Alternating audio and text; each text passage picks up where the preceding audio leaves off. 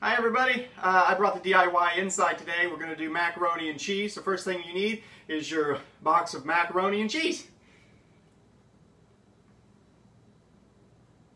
You need to start the burner, which you want a pretty high flame on this so that the water will get to a boil. oh, I screwed up! I screwed up! I screwed up!